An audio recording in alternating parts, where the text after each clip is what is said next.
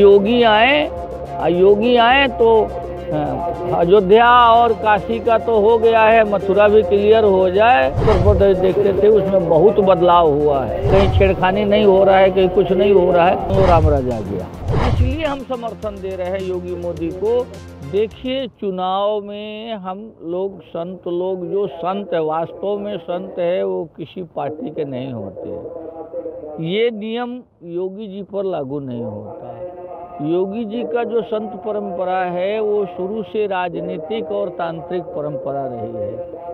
तो उन पर लागू होता। अब हम लोगों का तो ये है कि अगर पक्ष लेने की बात कहा जाए तो हम किसी पक्ष के तो नहीं हैं, लेकिन हमें एक बात तो दिखाई दिया इस पाँच साल के अंदर, उत्तर प्रदेश, विशेषतः उत्तर प्रदेश के लिए पाँच साल में एक भी ऐसा दंगा नहीं हुआ जिसमें जनमन का क्षति हुआ हो।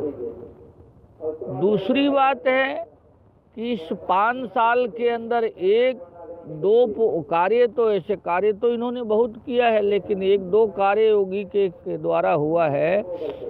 जैसे हम बाईपास से आते थे तो इलाहाबाद में प्रवेश करते थे तो मेले में घुसने के समय में पाँच घंटा लगता था। अब हम डेढ़ घंटा में आ जाते हैं। ये तो प्रोग्रेस है ही है। स्वच्छता और मेले में जो साधुओं के लिए व्यवस्था की बात है तो ये उत्तम हुआ है। बढ़ा है बढ़ा है। अब गंगा जी का कटाव हो गया तो उसमें जगह लोगों को थोड़ा जगह की परेशानियाँ तो हुई, लेकिन सरकार की तरफ़ से हम लोगों को बड़ा मिला है। लेकिन हमारे लिए अगर अच्छा कर दिया जाए तो ही उनका समर्थन किया जाए, ऐसा नहीं है। उनके सरकार में किसी भी जाति विशेष के ऊपर कोई अत्याचार नहीं हुआ, और हमारे देखने से 60 परसेंट मुस्लिम मुस्लिम समाज भी योगी से खुश है। तो इसलिए हमारी तो ये है कि भगवान से प्रार्थना करें, गंगा जी से प्रार्थना करेंगे कि योगी आए योगी आए तो अयोध्या और काशी का तो हो गया है, मथुरा भी क्लियर हो जाए। हमारा धर्म स्थल है, अनादिकाल से वो बंधन में पड़ा है।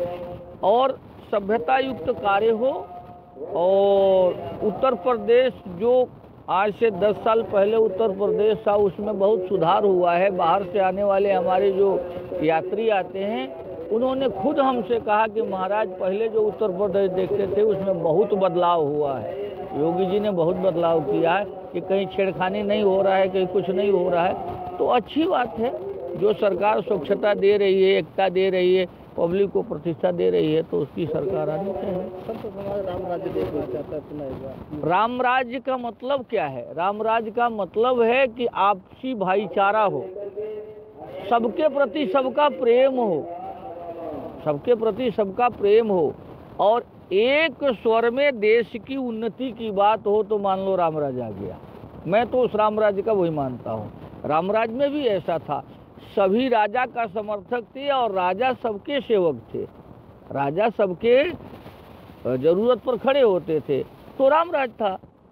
आज राजा अपनी मनमाना करते हैं और पब्लिक अपनी मनमाना करती है तो रावण राज है। रावण राज था। अब हो रहा है। इस विषय में हम लोग कह सकते हैं कि प्रारंभ हो गया है तो उत्तरार्ध भी अच्छा होगा। इसलिए हम समर्थन दे रहे हैं योगी मोदी को कि हमें उनसे अच्छा है कि भारत में दो चीज़ें तो होनी चाहिए। एक जो बीच में लोग, हर एक वर्ग के लोग हैं, जो बांटो और राज करो, इनको एकदम रिजेक्ट किया जाए, राजनीतिक परंपरा से भी। दूसरी कि ये किसी को पाकिस्तान भेज दो, किसी को कोई कहता है कि हम नब्बे हज़ार हैं काट देंगे, इन लोगों के ज़ुबान पर ताले लगने चाहिए। भारत में रहने वाला हिंदू भी ठीक है, मुसलमान भी ठीक है, सब ठीक है। बाकी कुछ मुट्ठी भर लोग हैं, कुछ पक्षीय लोग जो हिंदुस्तान को बिगाड़ रहे हैं, इनका ज़ुबान बना, बंद होना चाहिए। समान संहिता कानून लागू हो, और जब समान संहिता कानून लागू हो तो मज़हब और हिंदू हिंदुत्व का भेद भी समाप्त होगा। और अपने आप राम राज्य आ जाएगा।